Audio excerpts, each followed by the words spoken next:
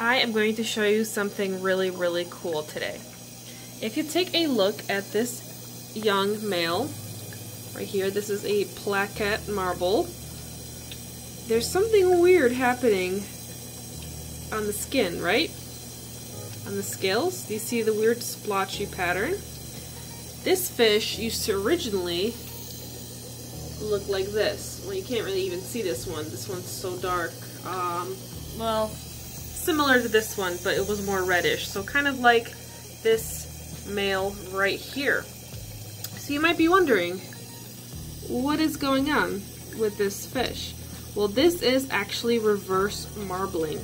So when you look at a cellophane, like this for example, that doesn't have any pigment showing up besides the black, sometimes you have fish that will start off looking uh, white or translucent like this and they start to develop pigment over time and the pigment will spread and then they'll eventually become you know like this for example where this one has the pronounced koi pattern. But sometimes you will get a darker fish like this that is full of different layers of pigments and pigments layer on top of betta fish. So different colors cover others. And there's a specific order in which they overlap. When a fish has color and starts to lose color, and then maybe possibly marble, this is kind of what happens. So reverse marbling over here. I actually have another example.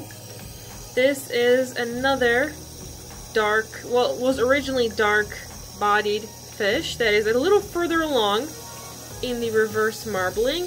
And as you can see, this little girl has lost a lot of pigment and is going to probably be fully cellophane very soon. So this is something cool that you can observe whenever you work with marble bettas, which are the fish, the specific types of bettas that have the jumping gene, which allows them to kind of gain and lose pigment. We don't really know exactly what triggers these changes yet.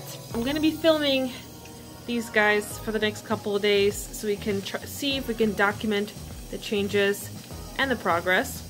And the cool thing is, I am going to be selling all these dark-bodied metallics, you can't really see any of them because I guess the light is, is shining directly on top of them. But they're as beautiful as this one right here, where you can kind of really appreciate the beautiful blues and the reds. Well, now, yeah, there we go, right here. So it's a very beautiful fish. These guys are gorgeous as well. And just like this one, they can actually uh, reverse marble, and they can actually become either cellophane or koi. So that is kind of the uh, really exciting thing about working with marble fish, especially those of you that um, kind of tried to get koi uh, from me before in the past. I, I, only have a limited amount of fish that I um, produce and sell, so sometimes getting one of these guys, you can take your chances, uh, see if you get lucky, and you might actually end up with a koi in the future. Here is two days later, just did some water changes on the jars, so the water is nice and fresh, and everybody's super, super spunky. And here is an update on the same betta that was reverse marbling. So as you can see, there's some progress happening and some changes. And it's very fun to kind of observe these differences in the fish. I have a couple more that are reverse marbling. So here's another one. That one has is losing the red and it's probably gonna go full cellophane. We have another one that's almost at this point full cellophane. Still has some brown, kind of looks like a little 5 o'clock shadow. We've got a little koi right here. So everybody's changing, which is really cool, except this guy. But he's starting to develop a little bit of a spade tail, which is pretty cool. You can't see him very well, but he's really pretty. Uh, the camera doesn't really pick it up, but in person, in the right light, you can really appreciate how glorious he is. Right now he just looks like a black fish.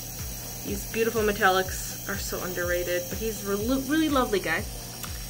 And then back over here is so far what everyone's favorite is.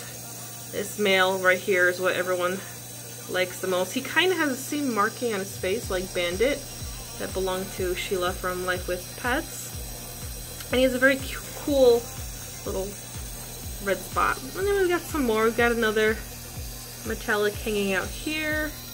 We have a really shy little dark-eyed koi right here. Um, got another koi up there next to some of my bigger fish. And then if we come over here, I kind of moved the jars to this location because I decided that with the lighting it was hard enough to see the metallics anyways. So this way it might be a little easier. And here's another one that's reverse marbling and losing the color. It was metallic like these guys and see? Another fish. This is very interesting because my previous spawn did not have this. Oh, and that's my only blue. I only have one fully blue fish. So that's that's the that's just the only fish I have. The rest have either reddish or purplish undertones, but we'll see if these guys end up reverse marbling. I have a theory that this one might next. Hello. Hello. Are you intrigued? So cute. So these guys are hanging out right over here.